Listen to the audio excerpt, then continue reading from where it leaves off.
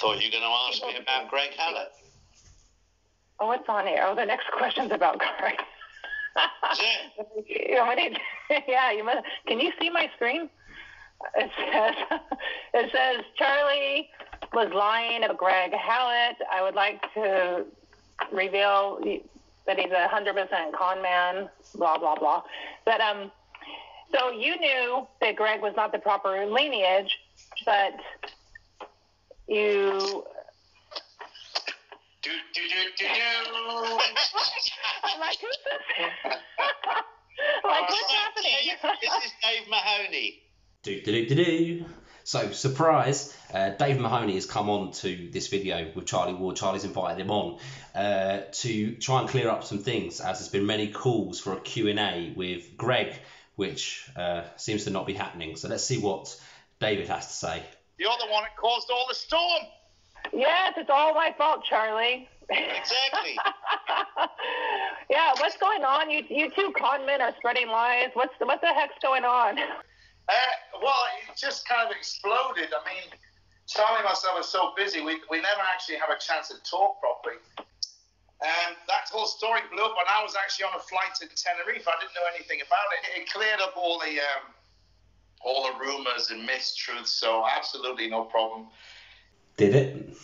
It's um, it takes a lot more than that to take the wind out of our sails. So let's uh, lay it on the line then. People think that you guys were just lying the whole time about Gregory Hallett. So what's the, what's the real story? You can. Well, the real there isn't really a real story that's different. And Really? there isn't a different story than what we were saying as far as I'm concerned. But that story about Greg, he um, he mentioned it in previous videos, and I knew about it, but I just didn't go back to it because I was like, okay, whatever, you know. Like it's like when you meet a woman or you meet a man, and they say, well, I dated this guy, this girl, and this happened. You're like, well, it doesn't really matter. It's in the past. Yeah, I, didn't focus on it, and then I kind of just forgot about it and just got on with it. Now this is super strange. Um, David talks about Greg telling him about someone else was meaning to be king, the same as being on a date and the woman saying, "Well, I dated someone else and this family." How is that relatable? How is it comparable? Um, someone else was meant to be king. A an occult society um, chose me instead of them because I saw some signs. Um, and he just says, you know, it's just one of those things, just forgettable. You know, it's kind of in the past. You just kind of move on. Yeah, it's super weird uh, that he also says in another video on the same day to uh, a mutual friend of mine, um, he says that something else is like dating as well. Let's have a look at that. Why doesn't he call people back? The, the simple answer is a lot of people are not really all there. You know, it takes you a while to realize we've all experienced this in our lives. You'll meet somebody, dating would be a great example. You know, you're um, you'd be uh, you meet someone, everything is good, and then something will happen. You know, I've had a couple of girlfriends that don't have a good reaction to alcohol. I don't know. Uh, I don't know. What do you guys think? I think it's super weird. I really do wonder how the comparison of dating someone and then telling you they dated someone else, and someone saying, "Yeah, someone else is meant to be king rather than me," but uh, a secret society, and a cult society, chose me over them because of the signs I was receiving. You know, I wonder what that sort of situation looks like. I really have had such a lovely time tonight. I've really enjoyed it too. But I do need to say, I've dated a lot of different people, different families. It's okay, don't worry about it. I know, but also, I want to come clean. I wasn't originally meant to be king. Someone else was chosen. Someone else was the bloodline. But you know, I saw some signs, and an occult society, you know, a Masonic society, they, they, they chose me. They chose me to be king. Look, you don't even need to worry about it. It's all in the past. We don't even have to mention it unless someone brings it up. And even then, we can just refer to your old videos. Look, I hold my hand.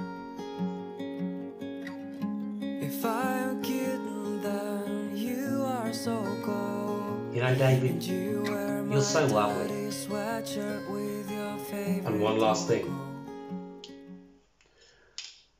Don't think about it. So my last message would be stop thinking about things. And then it came out. I was like, well, actually, he talked about that in a couple of videos way back, but not everybody watches the videos. Yeah, he did talk about it in some of Jim uh, his videos with Jim Fetzer, uh, but this was before you guys met him, and he decided to change the story, or you guys maybe decided altogether that let's let's leave that part out. Um, it's a bit suspect, so let's not talk about it in the what now four five parts of a professional documentary made about the story. And then people jumped on it and started going bananas and the usual stuff. And I was like, oh, God, here we go. And, um, so we just, you know, look, he's actually talked about it from before, and this is what happened. He had a, a, a business agreement. They had a little falling out, and um, you know, he went on one way because he was he was selected because the signs were there. So that's where it went. And I think we've covered it anyway, Kelly. Where are you in California? I'm in the Bay Area. I'm about an hour of San Francisco. North or south? Is is that it? Three minutes of talking about it, and then you sort of say, "Oh, yeah, well, I think we've covered it." Anyway, where do you live? Let's change the subject. It's important that you keep the information out there for people so you don't get any rumors or lies. Well, just before you go, I know you probably got to go, but people are still asking about the Gregory Hallett thing, and is it is it possible that he still could be king, or is that just done? Well, Well done, Kelly. That's it. Keep him on track. Keep him on the story. We want to know. People want to know. People want to know about Gregory Hallett. he, Greg's been away for two weeks. He's, he's actually been doing some secretive work.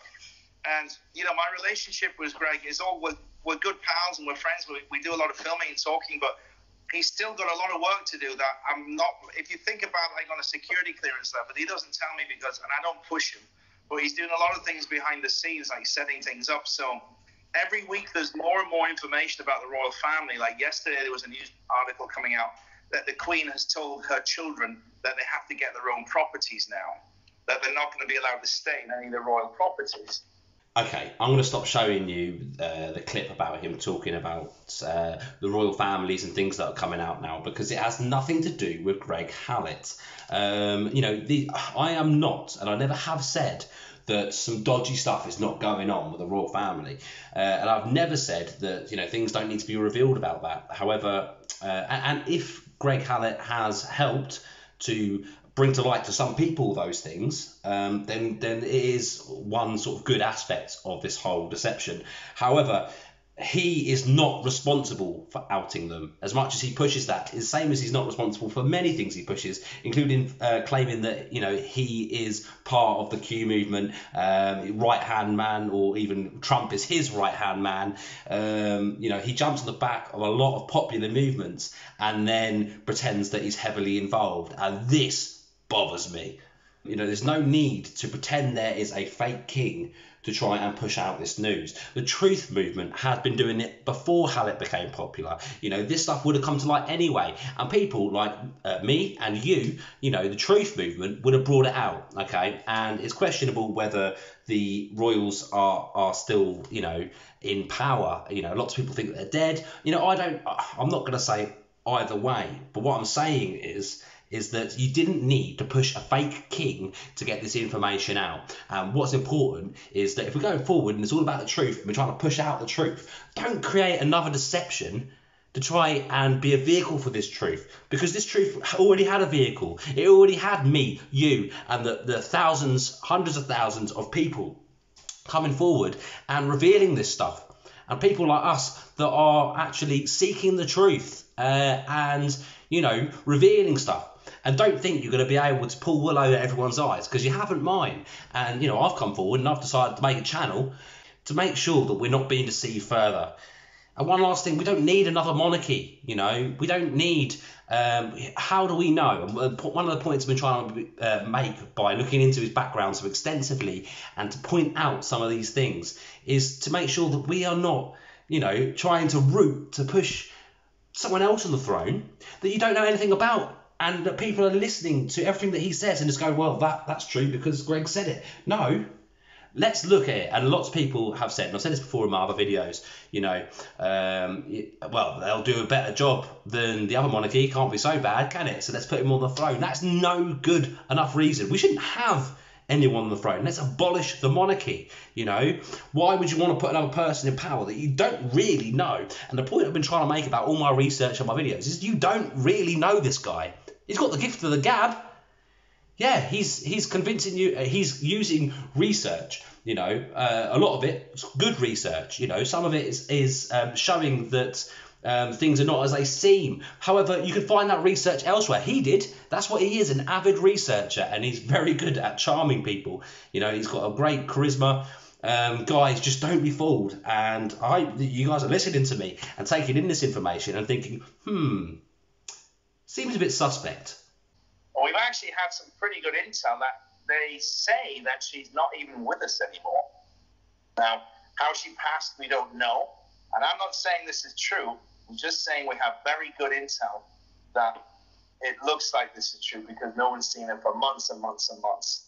Right. This really worries me um, when people are saying, you know, we have very good intel. People just seem to hang on that line, you know. I am not claiming to have very good intel. You know what I do? I go out and I find and I research and I network and I, I dig deep and I find research material. Um, I asked the people that were there questions. I asked the people that knew him. I asked, you know, go to family, to friends. You know, I I dig deep and I actually physically find that research. You know, people hanging off of well, I got insider information or you know, well, we've received very good intel. You guys don't know these guys from Adam, really. They are going on camera and telling you that they know people. This information is inside, insider information. It's good intel. Please use discernment. Please use your brain, your logic, your sense. I'm not saying that everyone that says they have insider information or good intel uh, are lying um, or even are not being duped themselves. You know, someone, I could easily just create a fake account, you know, and get hold of Charlie Ward or David Mahoney and say, look, you know, I've got connections in Buckingham Palace and uh, I'm telling you now, the Queen is dead. I've seen a dead body. Um, you know, I'm, I, I've got to keep close. I've got to keep, you know, tight-lipped about this because, um, you know, I'm in a very precarious situation and I'm in danger just by telling you. And it could be like, oh, okay, well, you know, I appreciate you for bringing this information forward. I will share it with my followers. Just be careful, guys. Interesting story about every August she goes to Balmoral, which is a property in Scotland, a, large estate there. And I had two staff members send me messages saying, She's not here, Mahoney, because I work in the stables. She loves her horses, and the horses not been touched. He said, If you get Greg to send me a flag of his, I'll put it on top of Balmoral to prove that she's not here. Oh, wow. What a great story. Um, did he do it? And we didn't, just because he ran out of time or something else. So, yeah, Oh, of course. He he he ran out of time or something. he's still got a long way to go. Nobody in official um, statement wise is going to help him. You're not going to get anything from the government saying, ladies and gentlemen, we'd like to bring your attention to stuff. No. I don't know what the future is, but he's still there. And I, I really do feel that because of the documents he lodged, this is what is really shaking and pulling the rug out from all of the royal family members. They're all wobbling. Oh, all the things that's going on with the royal family was because of Greg's documents, of course. Uh, the ones that were um, needed the response by the 20th of July, was it? Around that time. And uh, if they didn't get them, then Greg basically assumes the throne. Uh, he had a lot of people believing that when that happened, people were saying, you know, just wait, just wait till this day. it came and it went. Nothing happened. You know what happened afterwards? They said, Oh yes, they've been submitted. Nothing's happened because um, yeah, the, the you know the Royal Mail they, they screwed up. They sent it to the wrong address. What the wrong Kremlin? Um, excuse me, come on. And then you know where are we now? We're months down the line. Nothing's happened, and he's saying these documents have shaken up the royal family. I won't show the footage, but he goes on to say, yeah, Harry and Meghan um, they, they left the country. Yeah, nothing to do with Greg. That was well before all this. Uh, then he goes on to say about Prince Andrew and the whole sort of pedogate scandal yeah, again, well before Greg Hallett became popular, uh, all his documents, nothing to do with him. Uh, guys, come on. Literally, they are. This is what Greg has always done. You know, he's done research, um, and then he's kind of claimed it as his own, and it's because of him. Where clearly it is not. Still going to be a waiting game, Kelly. But yeah, Greg's still on it. It's just I haven't I haven't talked to him properly. You know, messages and a quick one, but I haven't talked to him properly for a couple of weeks because he hasn't been on his computer for a couple of weeks, and where he's been has been pretty remote. I know that because his signal can comes in and out. I wonder where he is. I wonder why you can't get hold of him. I wonder why he can't talk to us. Maybe the signal's bad, as you say. Maybe he's back in that cave. There's some really good intel coming in at the moment about these three hard drives that were sent as well. Did you hear about that, Charlie? Charlie. Charlie? Charlie. Charlie, wake up. I haven't heard that, no. So basically, I did a recent interview with uh, Charlie Ward, and on it, I made I made him watch back one of his videos with Greg where he displayed absolute vile behaviour. Um, and Charlie was kind of shocked and said that he felt really uncomfortable watching it back. Um, I then mentioned about the fact that um, after I put out that video of Charlie revealing that they weren't telling the whole story uh, about Greg. After that video that I showed of Charlie uh, revealing that he uh, that they weren't telling the whole story about Greg, obviously David made a few responses, and on those responses he said, "Look, I will get Greg on a Zoom call to clear this all up," which never happened. You know, So I'm going to do a Zoom call with Greg and I'll get him to clear it up. David made two videos, um, kind of trying to clear things up himself. Greg should have done this, but David, you know, he'd come on camera as the front man. He was probably wishing Greg would just come on and bail it all out. But, you know, Greg, nowhere to be seen. He, throughout all of this controversy, almost a month now, 11th of September was the last time we saw him. Almost a month now has disappeared, right? David claims that he's still in contact with him and he's just far too busy to um, even address all of this which doesn't make any sense. For me, I think that we've asked such tough questions. We've we've asked for the real evidence behind a lot of stuff, and Greg has kind of gone. I've been rumbled, and he's now hiding, and David now left left there to pick up the the, the pieces, which I feel sorry for him for. Um, however, I only feel so sorry. He's the guy still flat out promoting this. Mahoney has then said in a uh, Facebook fan group of Greg, look, we're going to get the Zoom call going. Fantastic. Okay. And he says to them, any questions, let me know, and me and Greg will talk about them. But then he puts out this video that's from with Jim Fetzer from well before they met. Um, that told the story, but this is before they stopped talking about the story and made a whole professional documentary about him and failed to reveal it, and then did so much work about it and still failed to mention it. So this is not a get out of jail free card, I'm afraid. This makes no sense still. Um, and you've not addressed it properly. By putting up an old video of him talking about it, I could put up an old video of him talking about Francisco Manuel being the king and him being his, you know, Lord Chancellor. Uh, and uh, Greg absolutely showing no kind of inference that he is meant to be on the throne. I can show videos of that, you know, and he changed his story. And then he changed it again to he's the king. And then, you know, when David and crew met him, they changed it again. Uh, or literally omitted anything that was dodgy, which is this whole story that he wasn't meant to be king, and some Masonic occult society chose him because of signs that he was seeing, right, to be the king, which again, you know, you shouldn't back behind. I mean, if I told you that I'd seen signs, you know, oh God, you know, I saw the other day on a burnt piece of toast the picture of Jesus, and that meant I was going to be the king, and then I wrote up some dodgy documents and put them on my own website with, you know, can I be king?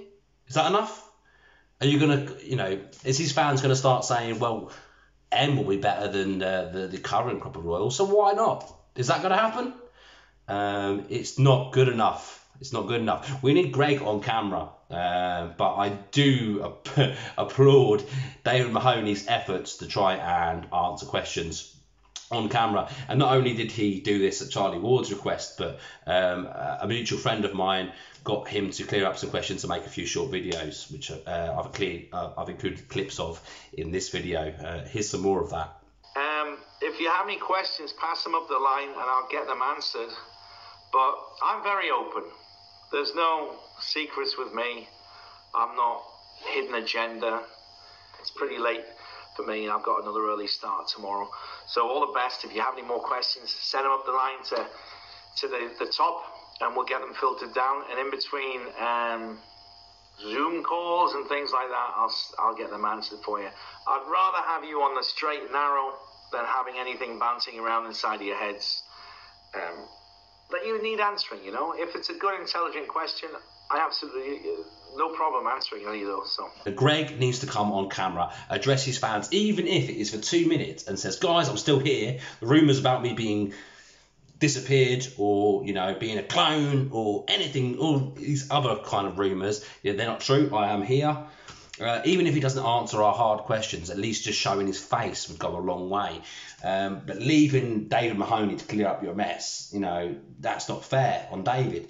And David, you know, there, there comes a point where you have to say, look, I was making a television show. And yes, I'll be going along with it. You know, okay, I still believe him. Those are my opinions. But uh, Greg's at this time not prepared to make a statement. And um, I'm going to leave it at that maybe. I don't know.